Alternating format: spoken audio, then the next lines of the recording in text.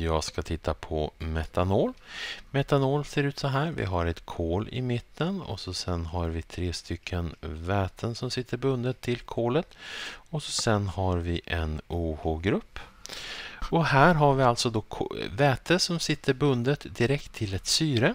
Så här har vi möjlighet till vätebindningar.